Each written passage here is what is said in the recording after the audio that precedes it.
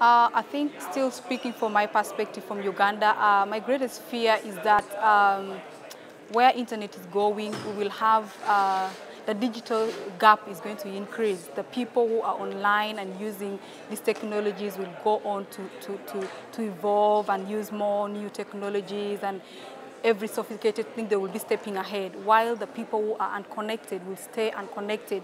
So the digital gap is going to increase.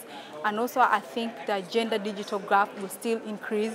So many women are left out while the men are coming up and continuously using the internet. So i still think also the digital the gender digital gap will widen.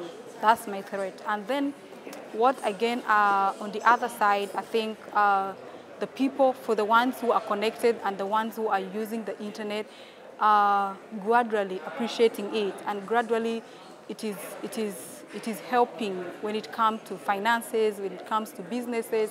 I think it is helping a lot. Uh, we've seen a lot of governments, especially in the sub-Saharan Africa, uh, governments using the e-platforms for visa, for, for a lot of businesses, which I think is something that is, I, I look at as as a great success. It's going to continue and it's going to make service delivery uh, quite easy.